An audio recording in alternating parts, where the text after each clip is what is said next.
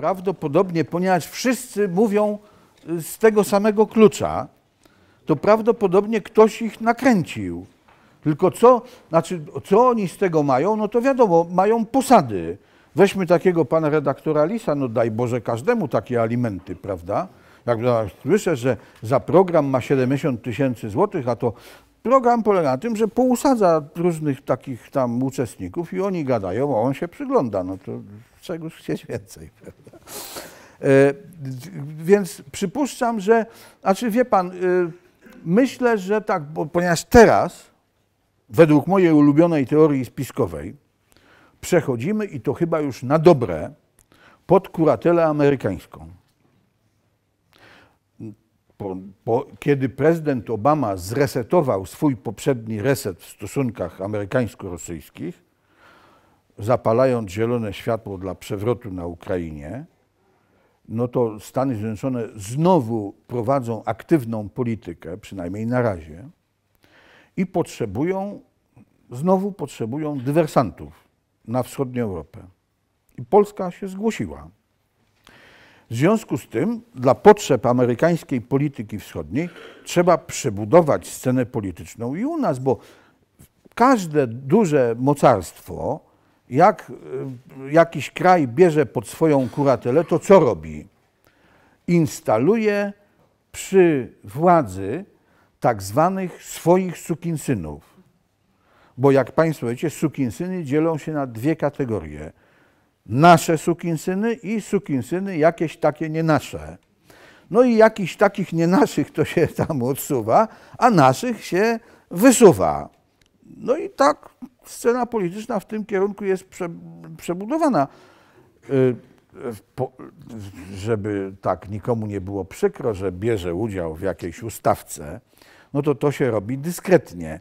Na co zwrócił uwagę wybitny klasyk demokracji Józef Stalin, bo już tu cytowałem raz spiżową sentencję Józefa Stalina, że ważniejsze od tego, kto głosuje, jest to, kto liczy głosy, ale jeszcze ważniejsze od tego, kto liczy głosy, jest przygotowanie właściwej alternatywy politycznej dla wyborców.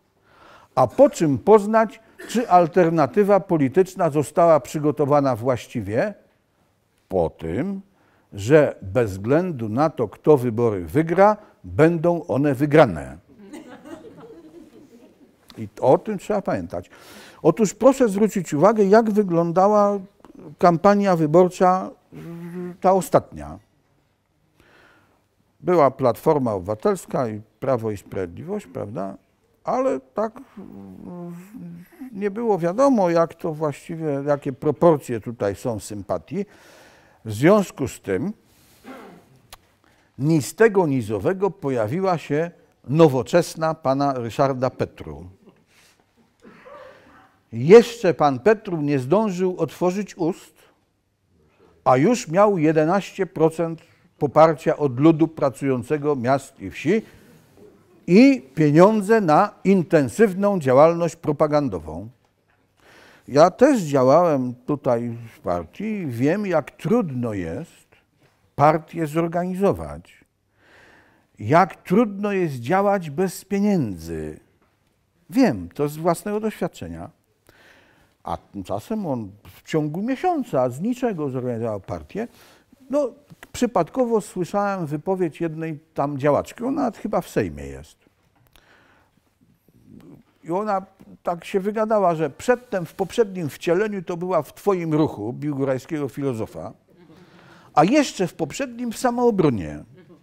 No to jak tak, to zrozumiałem, jak to się stało, że konfidenci dostali rozkaz w prawo zwrot do pana Petru odmaszerować. I to partia można w ciągu tygodnia zrobić partię, no i oczywiście fundusze i tak dalej, i tak dalej. I pan Petru odebrał Platformie całkiem sporo głosów, wskutek czego Platforma. Dlaczego? Otóż, jak już powiedziałem, przechodzimy pod kuratelę amerykańską. Platforma słusznie czy niesłusznie, ale raczej słusznie, była uważana za ekspozyturę stronnictwa pruskiego w Polsce. No więc po co teraz stronnictwo pruskie ma się panoszyć? To trzeba je zepchnąć do defensywy. I zostało zepchnięte. A no i SLD w ogóle się nie dostało do Sejmu. Dlaczego? Dlatego, że Leszek Miller, który przecież nie jest w polityce nowicjuszem, prawda? Zgodził się na przyjęcie formuły koalicji, a wcale nie musiał tego robić. Mógł zrobić to samo, co PiS. Przecież. Wziąć na listy Sojuszu Lewicy Demokratycznej i SLD dostałby forsę nawet w przypadku przegranej, ale no, nie, wcale nie musiałby przegrać, bo miał prawie 8%. Cała ta koalicja miała prawie 8%. Tymczasem Leszek Miller zachował się jak człowiek pozbawiony absolutnie doświadczenia politycznego. No, po, posądzanie go o to, że nie ma doświadczenia politycznego jest niegrzeczne po prostu. To każdego można o to posądzić, ale nie Leszka Millera o takie rzeczy. No ale zrobił to. Dlaczego? No takie rzeczy można wyjaśnić tylko na podstawie mojej ulubionej teorii spiskowej. Bo przypomnę, że Leszek Miller, podobnie jak Aleksander Kwaśniewski, był jednym z głównych podejrzanych w aferze starych Kiejkutów. Jako stary Kiejkut. Jako stary Kiejkut. No i no, nie wiadomo było, jak to się wszystko skończy, ale strona amerykańska absolutnie, kategorycznie odmówiła współpracy z polską prokuraturą w tej sprawie. W związku z tym polska prokuratura niezależna nie będzie miała innego wyjścia, jak umorzyć postępowanie.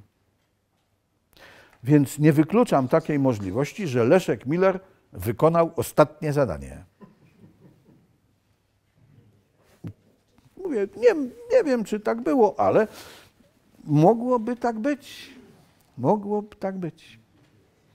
Wykonał ostatnie zadanie i wyeliminował SLD z politycznej sceny, bo no po co tu jeszcze pogrobowcy, że tak powiem, i ekspozytura stronnictwa ruskiego, które już całkiem jest zepchnięte do najgłębszej defensywy, do niebytu, bo przechodzimy pod kuratelę amerykańską i scenę polityczną trzeba przebudować i jest przebudowana. To nie są żarty.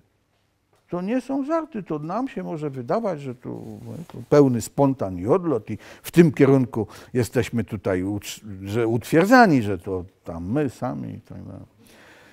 No, niech tak będzie, bo to, znaczy, ja rozumiem, że tak jest nam przyjemnie trochę myśleć, bo tak myśleć, że jesteśmy tylko tu, uczestniczymy w ustawce i nawet nie wiemy, kto nami kręci, to tak przykra trochę. Była